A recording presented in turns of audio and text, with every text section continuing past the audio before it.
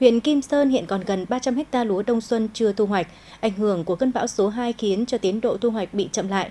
Bên cạnh đó, việc phơi, bảo quản lúa sau thu hoạch cũng gặp không ít khó khăn. Huyện đang chỉ đạo các xã khẩn trương khắc phục. Hiện nay, huyện đang chỉ đạo các địa phương đẩy nhanh tiến độ thu hoạch với những diện tích lúa đông xuân đã chín.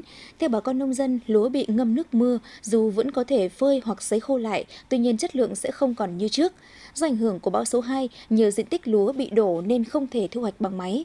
Phòng Nông nghiệp và Phát triển Nông thôn Kim Sơn đã khuyến cáo các địa phương cần đẩy nhanh tiến độ, huy động tối đa nhân lực để thu hoạch, hạn chế đến mức thấp nhất việc lúa nảy mầm, hư hỏng, đồng thời nhanh chóng giải phóng đất, phục vụ cho sản xuất vụ mùa theo đúng lịch thời vụ.